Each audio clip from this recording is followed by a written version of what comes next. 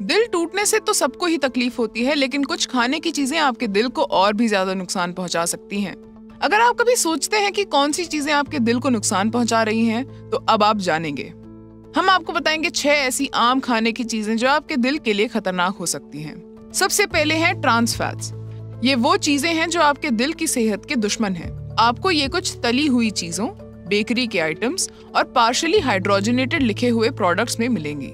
ये आपके खराब कोलेस्ट्रॉल को बढ़ा सकती हैं और अच्छे कोलेस्ट्रॉल को कम कर सकती हैं, जो आर्टरीज में ब्लॉकेज और हार्ट डिज़ीज़ का खतरा बढ़ा सकती हैं। दूसरे नंबर पर हैं मीठी ड्रिंक्स, चाहे वो सोडा हो, मीठी चाय या फिर वो फैंसी कॉफ़ी ड्रिंक्स, इनमें शक्कर की मात्रा बहुत ज़्यादा होती है।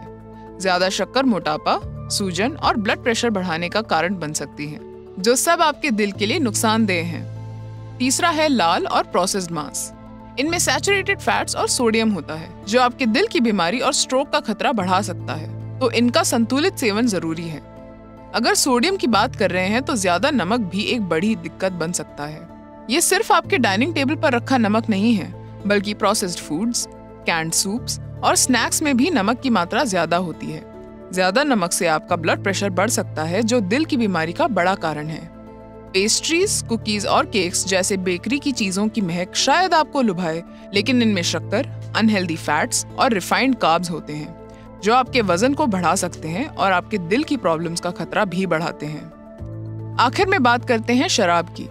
अगर आप ज़्यादा शराब पीते हैं तो इससे आपका ब्लड प्रेशर बढ़ सकता है हार्ट फेलियर का खतरा हो सकता है और स्ट्रोक का भी रिस्क बढ़ जाता है। तो यहाँ भी मॉडरेशन ज़रूरी है। याद रखिए, बात सिर्फ़ इन चीज़ों को पूरी तरह छोड़ने की नहीं है, बल्कि संतुलन और समझ बनी रहे, ये ज़रूरी है। और अपने डाइट में कोई बड़ा बदलाव करने से पहले हमेशा किसी हेल्थ एक्सपर्ट से सलाह लें।